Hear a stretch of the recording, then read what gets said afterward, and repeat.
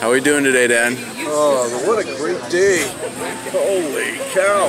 Did you buy? I you bought get- a boat today, a 30 foot Catalina boat. And uh, we, we've been boat hunting for uh, about three or four days now, and it's all been crummy boats.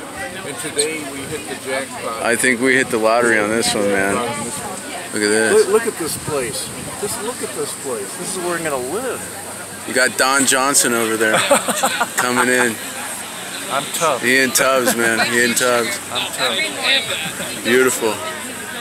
Million dollar homes. These are million dollar homes around here. Well, congratulations. This is coming out of our marina, by the way. This is coming out of our marina here. Yeah. And that's Fort Myers. That's Fort Myers Beach. Right? Well, welcome to the rest of your life, Dan. Love you. All right, ciao.